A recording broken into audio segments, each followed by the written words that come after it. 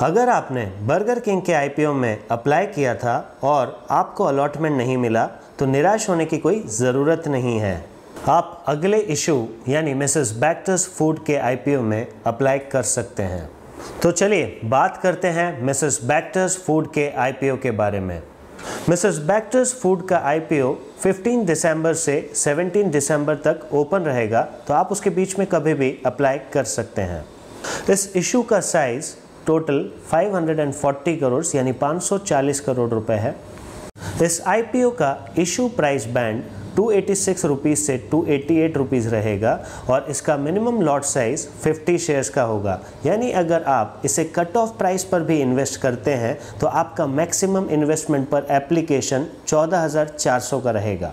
Mrs Bector's food speciality limited की शुरुआत 1978 में मिसेस रजनी बैक्टर द्वारा की गई थी। तो चलिए बात करते हैं मिसेस बैक्टर्स फ़ूड के बिज़नेस मॉडल के बारे में। मिसेस बैक्टर्स फ़ूड दो सेगमेंट में काम करता है। एक है प्रीमियम बिस्किट सेलिंग, यानी इनकी एक ब्रांड है क्रेमिका, जो कि नॉर्थ इंडिया में बहुत ही फेमिलियर ब्रांड है, और इनका ऐसा ही एक दूसरा सेगमेंट है बेकरी प्रोडक्ट्स। ये क्यूएसआर सेगमेंट, यानी कि क्विक सर्विस रेस्टोरेंट सेगमेंट को अपने buns and bakery product supply करता है। क्यूएसआर में इंडिया में डोमिनोज, मैकडोनल्ड्स, बर्गर किंग के जैसे बड़े बड़े ब्रांड्स हैं और आपको जानकर खुशी होगी कि ये सारे क्लाइंट्स मिसेस बैक्टर्स फ़ूड के बहुत रिनाउंड क्लाइंट्स हैं।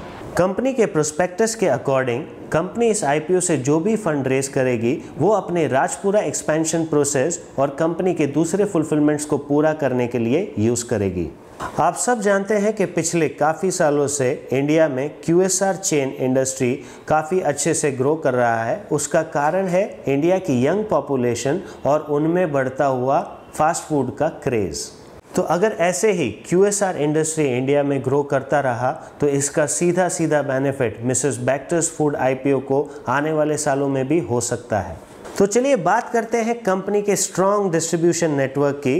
कंपनी के 154 सुपर स्टॉकिस्ट हैं, कंपनी के 644 डिस्ट्रीब्यूटर सप्लायर्स हैं, और कंपनी चार लाख अट्ठावन हज़ार यानी four lakh fifty eight thousand retail outlets के साथ अपने प्रोडक्ट्स को इंडियन मार्केट में सेल करता है। यही नहीं, कंपनी इंडिया के अलावा चौंसठ और कंट्रीज़ यानी 64 अदर कंट्रीज़ को अपने प्रोडक्ट एक्सपोर्ट करता है। वहाँ पर भी कंपनी के प्रोडक्ट की डिमांड ऐसी ही है जैसे कि इंडियन मार्केट में है।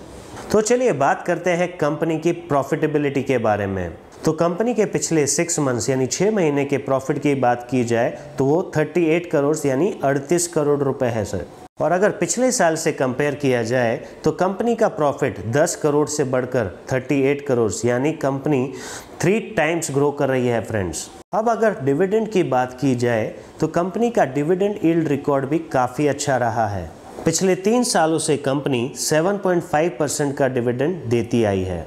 सो अगर कलेक्टिवली कंपनी के financials depending on the dividend and profitability के साथ कंपेयर किया जाए तो काफ़ी अच्छे हैं और साथ ही में उनका प्रोडक्ट भी एक फास्ट सेलिंग प्रोडक्ट है बिकॉज़ आने वाले टाइम में भी हमें ऐसा लगता है कि इंडिया में क्यू यानी कि क्विक सर्विस रेस्टोरेंट्स ग्रो करेंगे। तो आशा करते हैं कि हमने आपको कंपनी के बारे में एक अच्छी इन्फॉर्मेशन दे दी है, जिससे कि आप अपना डिसीज़न ले सकते हैं। और साथ ही में अगर आपको और अच्छे से इसके बारे में जानना है तो डेफिनेटली आप इसके रेड हेरिजन प्रोस्पेक्टस को गो थ्रू कर लीजिएगा, फिर ही अपना डिसीज़न लीजिएगा कि आपको इस कंपनी में इन्वेस्ट करना चाहिए या नहीं करना चाहिए। और मिसेस बैक्टर्स फ़ूड के आईपीओ के बारे में आपको कैसा लगता है? प्लीज़ कमेंट बॉक्स में लिखकर ज़रूर बताइए। आशा करते हैं कि ये वीडियो आपको ज़रूर पसंद आया होगा। इस वीडियो को प्लीज़ लाइक करना और शेयर करना मत भूलिएगा। मैं हितेश सोमानी, ऐसे ही और अच्छे इन्फॉर्मेटिव वीडियोस आपके लिए लाता रहूँगा। तब तक के लिए happy investing keep learning thank you bye